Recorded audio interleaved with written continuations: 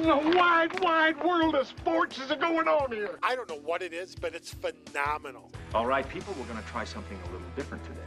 I cannot solve your problem, sir. Only you can. Am I missing something? You want answers? I think I'm entitled. You want answers? I want the truth. You can't handle the truth.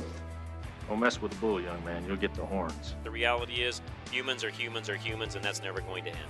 No, I do mind. Uh, the dude minds. This will not stand. It's a big, big deal. Hello. You speak English, sir? Parlo usted inglés? 60% of the time, it works every time. I've done the math on this. We've talked about it on this show before. That's a fact. You'll learn a little something about yourself. That's us, dude. That's why we're radio shows. That's right. I don't have to tell you things are bad. Everybody knows things are bad. The dollar buys a nickel's worth. Shopkeepers keep a gun under the counter. Punks are running wild in the street, and there's nobody anywhere who seems to know what to do, and there's no end to it. It's like everything everywhere is going crazy. I don't want you to protest. I don't want you to riot. I don't want you to write to your congressman because I wouldn't know what to tell you to write. I don't know what to do about inflation and the Russians and the crime in the street. All I know is that first, you've got to get mad. Let's do this. Discussing issues that matter to you. Finding real answers using logic and reason. KLZ 560 presents Rush to Reason. Now, here is your host, John Rush. All right, Rush to Reason, Denver's Afternoon Rush, KLZ 560. Time for the Monday Mortgage Minute. Kurt Rogers, Affordable Interest Mortgage. What's going on, sir?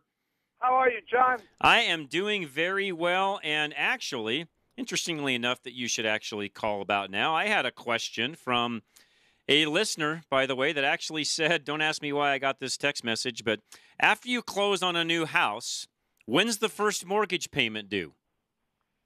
Normally, uh, if you close on the 10th of the month, let's say you close between the, the 2nd and the 30th of the month, it's going to be not the following month, but the month after. Okay. If you close on the on the first of the month, and they backdate it, it will be closed the next day. But normally, you're going to be minimum 30 days to as much as 59 days later before your payments due. 30 to 59 days. Now, you are still essentially paying, but that's all Yes. part of your closing costs and such, right? It's all part of your closing costs and, and figured into your day's interest when you do the loan. Yes, Okay, but you are but you do not have to physically write that check for the payment until then. that is correct. Okay, great. All right, what's going on in the market right now? Well, uh, uh, we've talked about this before about uh, how a lot of people are starting to look at their, their loans that they had six months, a year ago, year and a half ago that were paying mortgage insurance and how to get out of it. And you could actually keep lower the rate and get rid of the mortgage insurance. Okay. What do you so think? That's, that's a beneficial. But what we started recently is we just started the All About You event.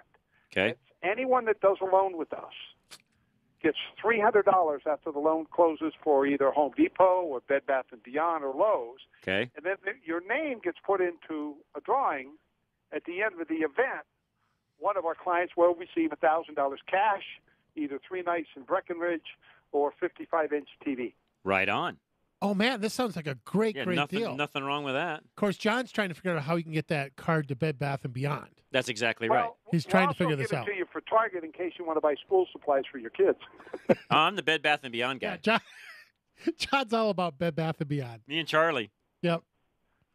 Yeah, I mean, there's, I mean, it's just our way of saying thank you to clients Hmm. at this time of year with school going back, Right. people getting in back into the fall. It's a good idea to have a little bit of money to spend around your Yeah, house. makes sense. Okay, question, and I think you know where this is probably coming from, but what do you think the market's going to do over the next year? Do you think uh, here in Colorado, do you think prices are going to stay fairly flat, go up, go down? Does it depend on the range of the house? What are your thoughts? Um, I believe prices are going to continue to go up. They've been rising at about eight percent a year. I think they'll probably settle at around six.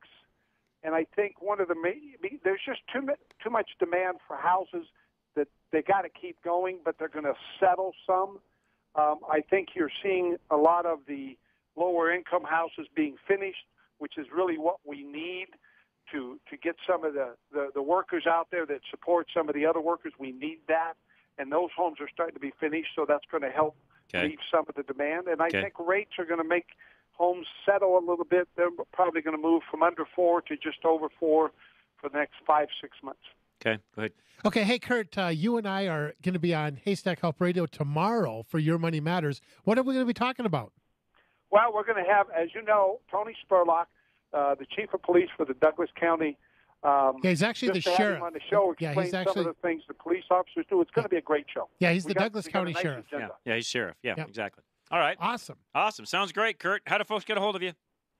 720-895-0500 or then go to our website aimortgage.net. All right, Kurt Rogers, Affordable Interest Mortgage. Thanks, man. Have a great week.